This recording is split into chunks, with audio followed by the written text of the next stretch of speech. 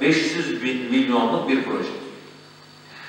Türkiye'de son iki yılda 2018 ve 2019 ve 2020'de 50 milyonun üzerinde pek yatırım yapılmıyor. Bizim korkumuz şuydu, hastane acaba geçmez mi diye. Ama şükürler olsun şu anda hastane projemiz geçti. 2020'de başlayacağız.